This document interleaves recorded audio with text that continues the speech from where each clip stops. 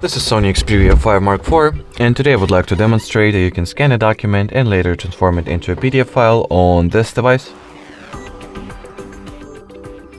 So in order to do that I'll uh, use the help of this free app by Google that is called Drive, thus Google Drive, a very well known service so to speak. So let's go ahead and get this app real quick. Now I'll go ahead and launch it, sign into your sign in your Google account if necessary. Next, tap on this plus sign, choose the scan option, grant Google Drive the camera access. Once the camera interface has been launched, take the document that you wanted to scan, lay it flat and somewhat straight in front of you.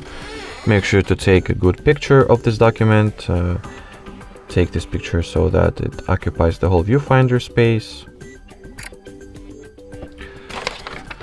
Uh, after that, at the following interface, you can crop the document if it has been uh, cut out incorrectly, as it is in my case, it just has been butchered for some reason.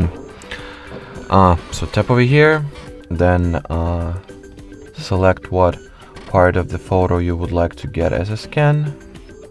So I'll make it like that. Let's say tap on done then save.